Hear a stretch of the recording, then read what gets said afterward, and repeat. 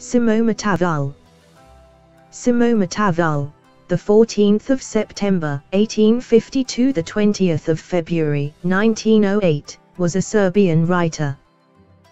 He was a representative of lyric realism, especially in short prose. As a writer, he is best known for employing his skill in holding up to ridicule the peculiar foibles of the Dalmatian folk. He was an honorary member of the Matica Srpska of Novi Sad, the first president of the Association of Writers of Serbia, president of the Society of Artists of Serbia and a member of the Serbian Royal Academy. Early life Simo Matavulj was born in Šibenik in Dalmatia, Austrian Empire, now Croatia, on the 14th of September 1852, to a notable Serbian merchant family. He went to Italian and Serbian grammar schools and graduated from a Šibenik Gymnasium, high school. After his father died he went to live and study with his uncle Seraphim, the abbot of the Serbian Orthodox Krupa monastery in Dalmatia. He was initially educated for the church, but chose not to take orders, and after four years left for Zadar Zilurik Teachers College, from which he graduated in 1871. He was a considerable linguist by then and knew Serbian, Italian, Old Slavonic, and some Greek and Latin. Thereafter he taught in Serbian villages and towns in northern Dalmatia, particularly in Divsk and Islam Grčki, near the castle of the Jankovic family, built by Stojan Jankovic, Serdar of Kota. His descendant, polyglot Ilija Jankovic, who lived in the castle with Jelena, his wife, took Matavulj as his personal secretary. Jankovic had a vast collection of books in his private library and gave Matavulj the freedom to use it at any time of day or night. When Matavulj's benefactor and language teacher suddenly died, Matavulj wrote a poem and gave a eulogy at Jankovic's funeral. I lost a valuable teacher who gave me his great wisdom, drop by drop, and opened my obscure soul, so that I may speak among honest people he is the one I owe a debt to. Matavulj's friend, Lazar Tomanovic, 1845-1932, helped him find a new job in 1874 at the Serbian Naval Academy of Srbina in Herceg Novi, teaching Italian. In Notes of a Writer, Matavulj wrote, In Herceg Novi I lived from 1874 until the end of 1881. The most beautiful period of my youth I spent in this magnificent part of the Serbian country, on the southern junction of three frontiers. In events and circumstances which can only be imagined for a young man who had longings and affection for storytelling. I do not know if my stories are better than others but they certainly carry the spirit of what was most dear in my life the spirit of youth. Revolutionary involvement in 1875, he participated in the Herzegovina uprising, where he was the secretary of one of the leaders, Vojvoda Mićo Ljubibratić, the translator of the Quran in Serbian, and again in 1881 he participated in two short-lived revolts in Krivošije before they were suppressed by the Austrian army. In the Herzegovina rebellion he got to know a freedom fighter named Petar Mrkonjić, afterwards King Peter I of Serbia, with whom he was constantly connected in his journalistic ventures later on in life. Professional non-writing career From 1881 to 1882 he was superintendent of public schools and rector of a gymnasium at Cetinje, where he met the likes of Pavel Rovinski, Lazar Kostic, and Valtazar Bogišić till he had become a superintendent of public schools Matavulj had never left his native homeland, but his responsibilities as superintendent necessitated a journey to Paris.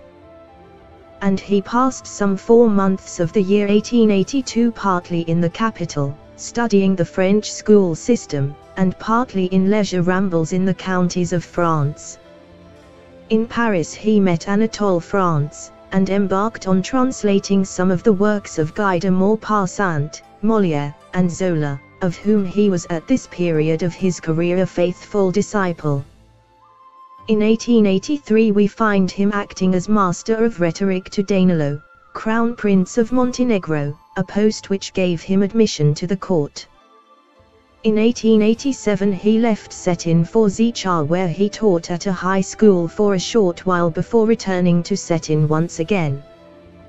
In 1889 he was teaching at a Belgrade gymnasium, and later managing the press bureau of Serbia's foreign ministry. This latter post he held till his death, though offers of more lucrative positions were made to him. His duties were light, and he employed his leisure in writing more short stories and novels. Personal life and family. He was twice married, once in 1892, and when his wife, Milica Stepanovic, 16 years his junior, died a year later giving birth to a stillborn. He remarried seven years later, 1900, to Ljubica Dimovic, a childless widow. He spent the last years of his life in Belgrade, where he died on the 20th of February 1908, survived by his second wife. Writing As a writer, he is best known for employing his skill in holding up to ridicule the peculiar foibles of the Dalmatian folk. His main collections of short stories are, From Montenegro and the Sea Coast, 1888, 1889, from Life in Belgrade, 1891, and From Various Cantons, 1893. His best short stories are Pilipenda and Poverta, depicting the moral strength of common village folk as they struggle through life's vicissitudes.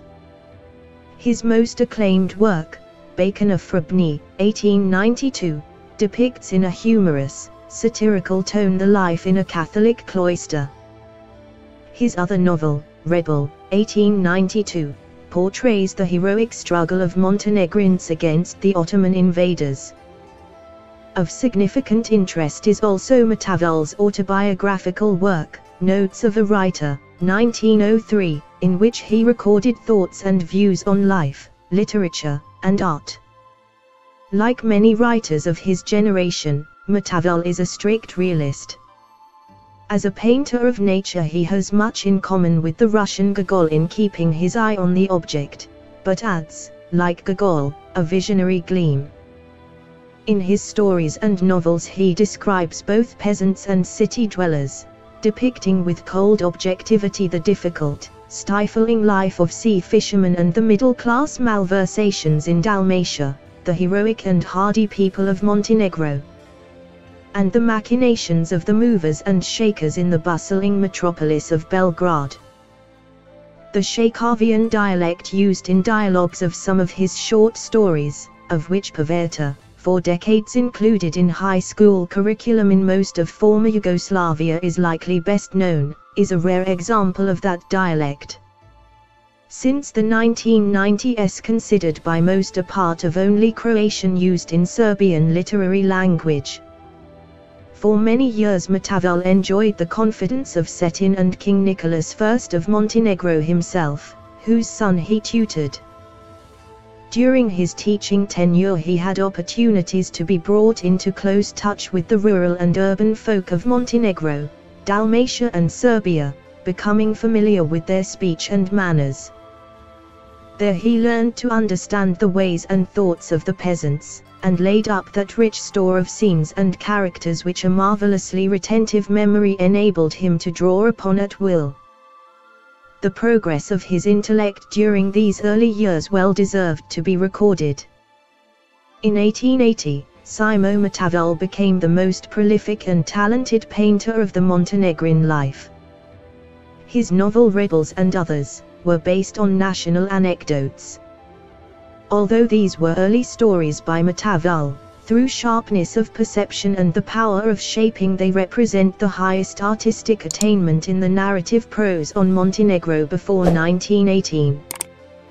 Nobel Prize winner Ivo Andrić called him the master storyteller. Matavulj was awarded Order of the Cross of Takovo. Click on the subscribe button on the YouTube channel in order to be updated with the latest events on the channel. Help our work by sharing content.